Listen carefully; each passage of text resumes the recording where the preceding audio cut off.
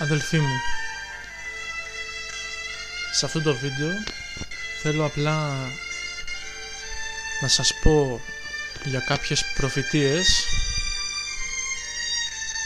της γερόντισσας Νίλας η οποία κοιμήθηκε στις 6 Μαρτίου το 1999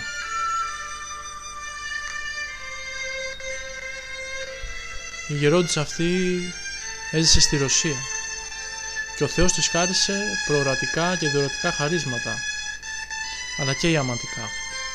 Η γερόντισσα έλεγε σε πολλοί κόσμο ότι θα ζουν και θα δουν τον Αντίχριστο.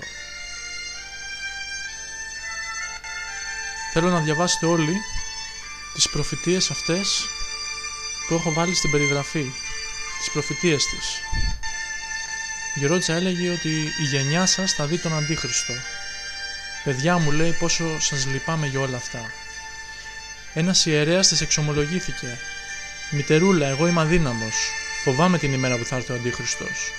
Μη φοβάσαι, του λέει. Θα δεις αυτήν την ημέρα, δεν θα αντέξω όμως τις δυσκολίες. Μίλησε επίσης και για τον παγκόσμιο πόλεμο που θα κάνει η Ρωσία. Βλέπουμε λοιπόν αδελφοί μου πώς πιστοποιείται και από αυτήν τη γερόντισσα η περίοδος που σας δίνω 2012-13 2023-24 σε αυτήν την περίοδο αδελφοί μου θα αρχίσει ο Αντίχριστος το έργο του. Σας το λέω από το 2008 περίπου. Η προφητεία και της γερόντισσας Νίλας πιστοποιεί την περίοδο αυτή που σας δίνω να μην έχετε πλέον καμία αμφιβολία. Επίσης η γερόντισσα λέει πιο κάτω για κάτι που είχε δει στο μέλλον ότι θα σφραγίζουν λέει από βρέφη τα παιδιά με το σφράγισμα του Αντιχρίστου. Και αυτό αδελφοί μου στα κρυφά πραγματοποιείται μάλλον ήδη στην Αμερική στα κρυφά. Και από το 13 και μετά θα το κάνουν στα φανερά με το σύστημα, με τον νόμο περί υγείας του Ομπάμα.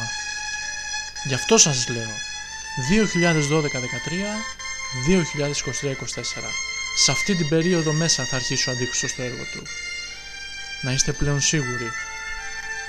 Διαδώστε τα αδελφοί με αυτά τα πράγματα.